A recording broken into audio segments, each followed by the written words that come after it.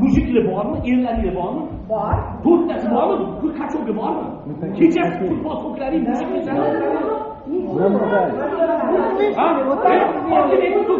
Erkaklar assalomu alaykum aziz yurtdoshlar mana sof savdo internet magazinimizga uch oy oldin tojik bolasi minaxidil olib ketuvdilar hozir keldilar mana hozir e, uch oy oldingi holatdagi rasmingiz bo'lsa bor aka ko'rsatasiz mana aka uch oy oldin olgan rasmim uch oy bo'lgan aka mana uch oy oldin olib ketgan rasmim aka shu yerdan uch oy oldin dori olib ketdim aka mana uch oylik rezultati aka yana oyonida bundan ko'proq qo'yishni xohlayman masalan kelib olib ketishni ham sizlarga tavsiya qilaman yaxshi garantiya bilan ishoninglar салому алейкум бародарони тоҷик мо шуморо барои миноксидил мегам ин се моҳ пеш барои ришам дору гирифта будам ва шумо метонед омада ҳаминҷа бигирен интернети софсавдо ру musofir yurtda yurgan yurtdoshlarimiz uchun maxsus reklama. Agarda siz moskva samara sankt peterburg vladimir ulyanovsk shaharlaridan o'z yurtingizga qaytishni istasangiz shu o'rinda ishonchli kafolatlangan arzon va qulay yo'lovchi tashish xizmatini sizlarga taqdim etamiz. Albatta ekranlarda mavjud bo'lgan raqamlarga murojaat qiling.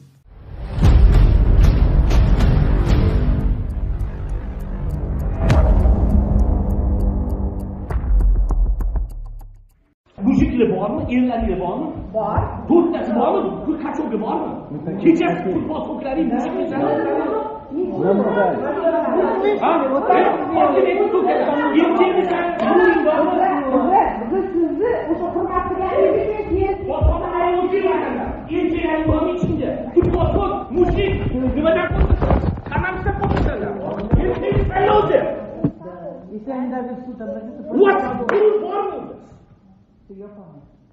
Puli bormi biling? San olib qaniydilar?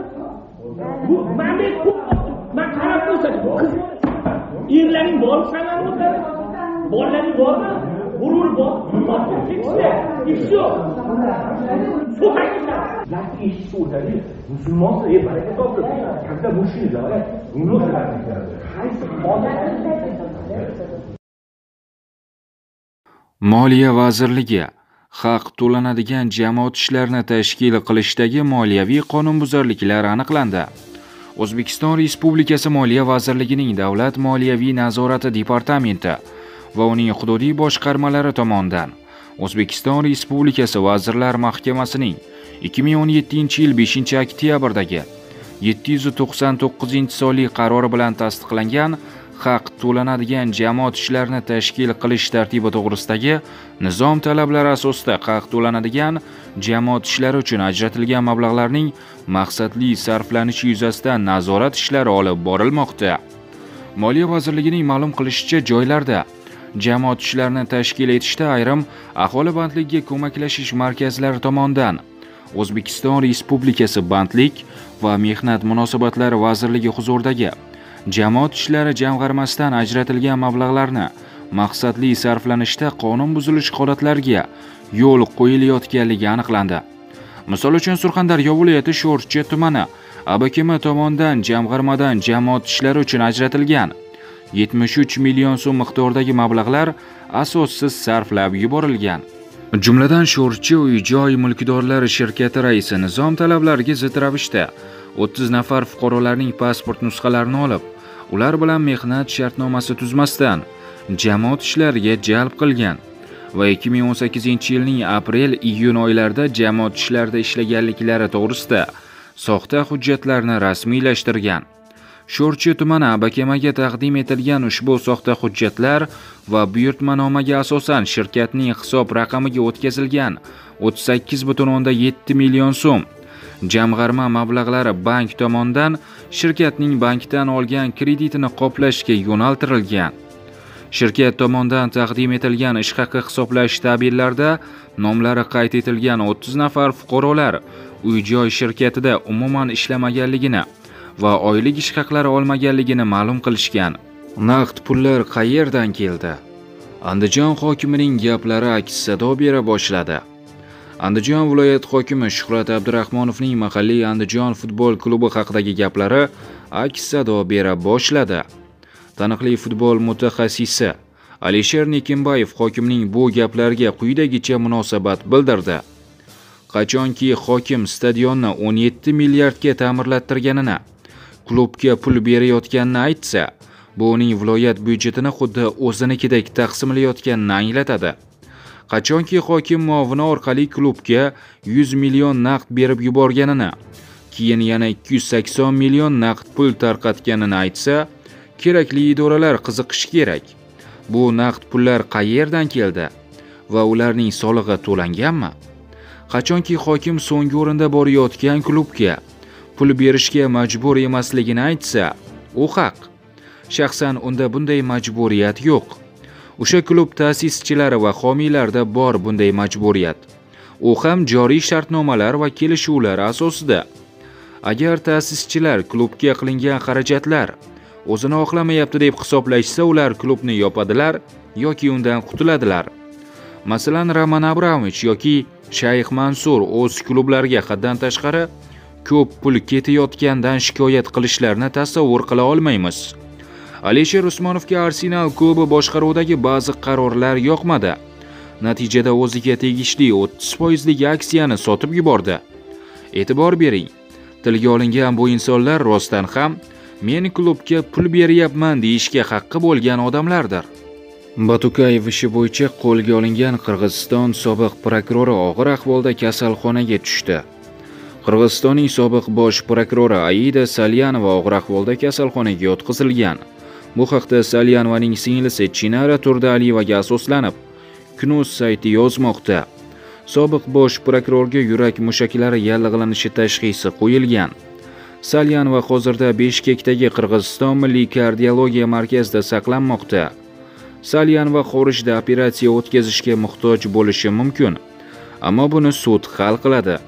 Salyanova 3 iyun kuni qirg'izistonlik kriminal aziz batukayevni qamoqdan ozod qilish ishi bo'yicha qo'lga olingandi batukayevning ozod qilinishi bilan bog'liq ishda aybli deb gumonlangan ko'plab sobiq hukumat vakillari jumladan sobiq prezident almazbek atambayev ham qo'lga olingan. 5 iyun kuni sud salyanovani uy qamog'iga hukm qilgan. Advokat esa sobiq bosh prokuror 4 yoshli qizining qarovchisi bo'lgani uchun jazoni yengillatishni so'ragan. Aynan qizining qarovchisi bo'lgani uchun Salyarmaning 5 yillik ozodlikdan mahrum qilish jazosi uy qamog'i bilan o'zgartirilgan. Bugun davlat test markazi tomonidan bakalavriat ta'lim yo'nalishlari bo'yicha topshirilgan test sinovlari natijalari e'lon qilinishi kutilmoqda. Bu haqda 21 avgust kuni axborot va ommaviy kommunikatsiyalar agentligida davlat test markazi mutasaddilari ishtirokida o'tkazilgan matbuot anjumanida ma'lum qilingan. Xususan dtm bosh boshqarma boshlig'i barno rajabov jurnalistlar tomonidan joriy yilgi mandat natijalari kechikayotgani borasidagi savolga quyidagi mazmunda javob qaytargan. Test sinovlari 15 avgustda yakunlandi va qonunchilikka muvofiq mandat test jarayonlari tugagandan so'ng bir hafta ichida e'lon qilinishi lozim. Mandat natijalari bugun kechqurun yoki ertaga kunduzi e'lon qilinadi. Davlat test markazi rasmiysi shuningdek mandat test jarayonlari yakunlangandan so'ng bir hafta ichida e'lon qilinishini joriy yilda har bir abituriyent bir paytda uchta oliy o'quv yurtiga hujjat topshirishi ilk marta yo'lga qo'yilgani bilan izohlagan. Chilonzorda ichki ishlar vazirligi soxta xodimi jinoyat ustida qo'lga olindi.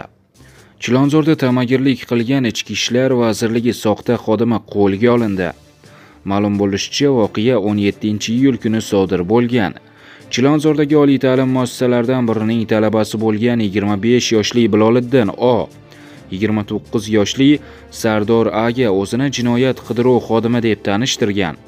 Shundan so'ng u fuqaroni o'g'irlagan buyumlarni sotib olganlikda ayblab sodir etgan jinoyati uchun ko'z yumishini va jinoiy javobgarlikka tortmasligi uchun 100 dollar so'ragan. Biloliddin chilonzor tumani muqimiy ko'chasida talab qilingan pulni olish vaqtida qo'lga olingan.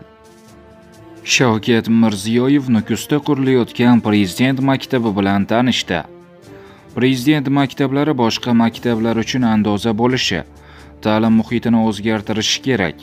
Bu haqda davlat rahbari nukus shahrida qurilayotgan prezident maktabi bilan tanishish chog'ida aytib o'tdi. Shavkat mirziyoyev prezident maktablari tashkil etish tashabbusini o'tgan yili aynan nukusda e'lon qilgani. Buni qoraqalpog'istondan boshlashni taklif etgan edi. Joriy yil 20 fevralda shu bo'yicha prezident qarori qabul qilindi. Maktabda darslar xorijiy mutaxassislar bilan hamkorlikda ishlab chiqilgan o'quv reja va stem dasturi asosida ingliz tilida olib boriladi. Matematika fizika kimyo biologiya va axborot texnologiyalari hamda xorijiy tillar ilg'or ta'lim metodologiyalari asosida chuqur o'rgatiladi. Davlat rahbari mazkur bilim dargohi uchun pedagoglar qanday tanlanayotgani bilan qiziqdi. Bu maktablarning o'qituvchisi ham o'quvchisi ham eng namunali bo'lishi lozim. Chuqur bilim bilan birga ma'naviyat vatanparvarlik hissi ham singdirilishi zarur. Bu yerga bilimli bolalar kelishi uchun har bir tumanda bazaviy bog'cha va maktablar shakllanishi lozim.